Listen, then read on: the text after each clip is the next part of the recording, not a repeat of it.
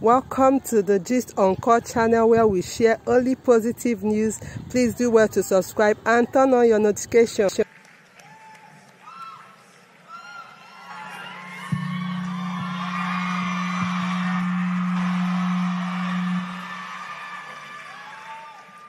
Chancellor, sir, permit me to stand on the already established protocol. My name is Paula Peace James Okoro. Greetings, everyone, distinguished guests, faculty, friends, our loving families and well wishers, and of course, the beautiful and stunning graduates. Or let me say, graduates. Dear class of 2020, today marks the commencement of a new chapter of our lives. Our journey in Covenant University was no walk in the park. We were presented with challenges we had to overcome. We have been made to understand the great importance of spirituality, a core precept for success in life. Seeing the four walls of this chapel more times than I can count brings back memories of important life lessons that we have been taught. We made lots of sacrifice, exercised diligence in our academic pursuits, breaking our backs to attend eight to seven classes, complete numerous simultaneous assignments, and spending several hours in the library. Through the impactful university wide courses, our capacities have been built, and we know that with the I can mentality, anything we want to achieve is possible for us. We have built strong, even lifelong relationships and friendships, and have bonded through great times and tough times.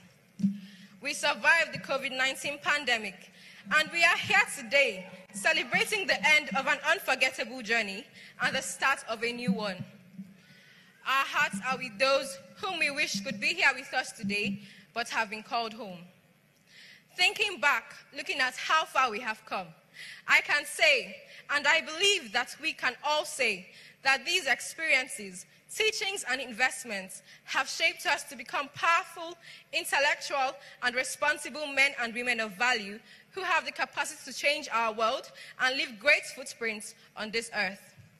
This is because important life values have been seeded in us, and we have been equipped with world class education that not only enlightens but empowers. We are grateful that we passed through this path. Class of 2020, we are undoubtedly unique and special. The fact that we made it here today is a testament to our perseverance and commitment to excellence. Every one of us is destined for greatness. No setback can change the power that we hold. Smith Wigglesworth said, Great faith is a product of great fights. Great testimonies are the outcome of great tests. Great triumphs can only come out of great trials. As we go into our world, we will remember that we are powerful. And we will use the values that have been inculcated in us to do great things and impact our world. A wise man once said that to leave a legacy and to achieve greatness is not just to get money and recognition. No, it is to leave those with whom we have crossed paths with a little more happiness and hope. We will spread the love of God wherever we go and live as generational leaders. The desire to reach for the stars is ambitious, but the desire to reach hearts is wise. So we will strive to reach hearts. My fellow graduates, let us remember this. We can make the impossible possible. We can do anything.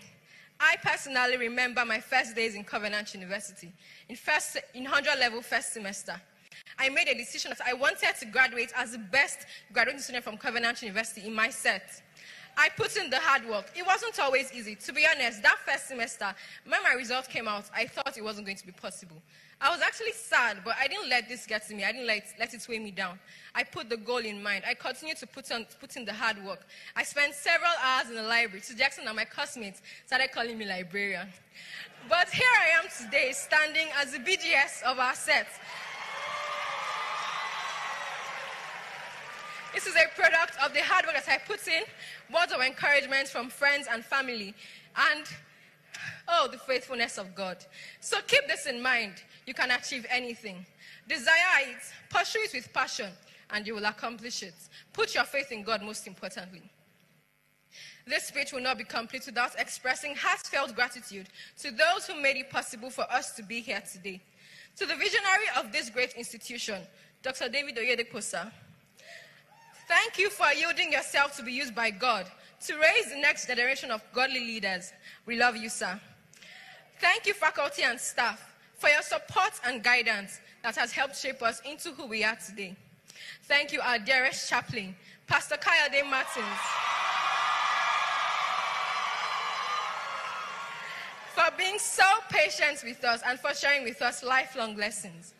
Thank you to our families by blood and by love for your love, support, and care, and for the investments that you've put in us, that you've made in us, that has molded us into who we are today. I especially want to thank my family, the best in the world. Thank you, Mom, for always cheering me on and taking such good care of me. Thank you, Dad, for your words of encouragement and wise teachings. Thank you both for always making sure I had everything I needed. Thank you, my dearest sister, for being a shoulder to lean on and for always giving me a listening ear. I really cannot thank you enough for your love and support. Thank you to my amazing friends and classmates, the Department of Biochemistry, for being, for being great companions on this journey. We made it! I also want to thank my wonderful supervisor, Professor Ogunlana, for your guidance and tutelage. She's just the best. Finally, and most importantly, thank you, God, for the grace to be here alive and well. Thank you for taking us through this path and for how far you have brought us. Thank you for making it possible for me to stand here today. I desired it, and you made it a reality for me.